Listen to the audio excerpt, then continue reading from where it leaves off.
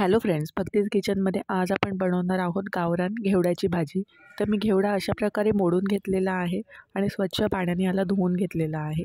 तर तुमच्या आवडीप्रमाणे याचा आकार तुम्ही ठेवू शकता.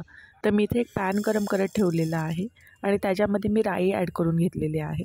आणि तसंच अर्धा चम्मच जिरा ॲड करून घेतलेला आहे. तर मी फोडणीला कांदा किंवा टोमॅटोचा वापर नाही करणार आहे.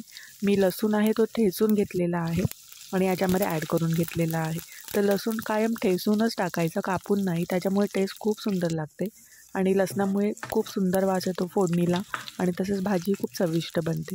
तर आता ही सगळी जी फोडणी आहे ती व्यवस्थित मी मिक्स करून याच्यामध्ये थोडंसं हिंग टाकून घेतलेलं आहे. हिंगाने कुठल्याही प्रकारचा गॅसचा त्रास होत नाही किंवा ॲसिडिटी होत नाही त्यामुळे हिंग नक्की टाकावा. तर मी ह्याच्यामध्ये आता घेवड्याची भाजी ॲड करून घेतलेली आहे. आता ही जी फोडणी आहे ती व्यवस्थित मी मिक्स करून घेत आहे या भाजीमध्ये.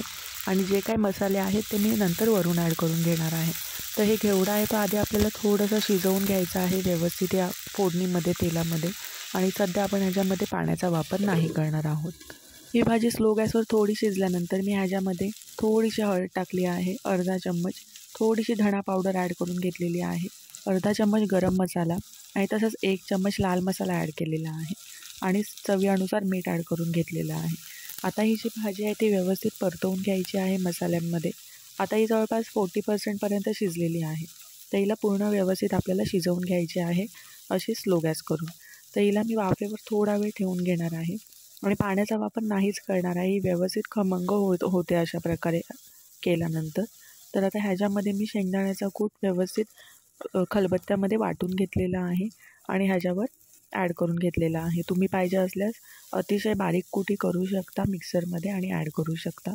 तर ही एका प्रकारे चटणीसारखीच भाजी होते. खूप सुंदर लागते. तर तुम्ही भाकरीसोबत चपातीसोबत खाऊ शकता किंवा वरण भातासोबतही. तर ही रेसिपी घरी एकदा तरी नक्की ट्राय करा.